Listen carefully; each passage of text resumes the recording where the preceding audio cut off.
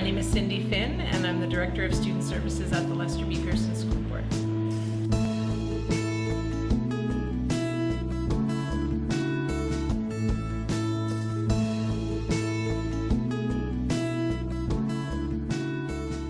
think it's really important to get away from some of the jargon. I think we throw around a lot of these acronyms and people aren't quite sure what we're talking about. But when you say to someone, think about yourself as a learner, what works best for you?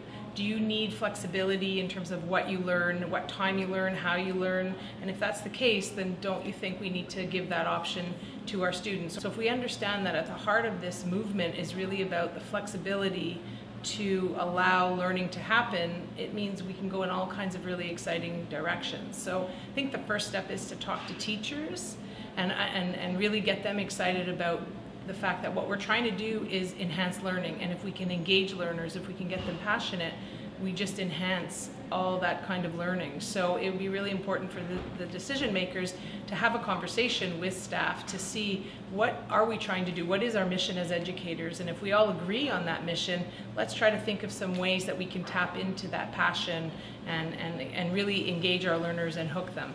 And, and to be creative and encourage people to think out of the box. We know, I mean, there's a lot of evidence now, so it's not just an idea that comes from, you know, creating something without knowing if it works. There's a lot of evidence, and if you look at cognitive neuroscience, that says flexibility helps people not only learn information but retain information. So if people have choice in what they learn or how they tell you what they've learned, then you're just able to maximize the success and ultimately the engagement of students.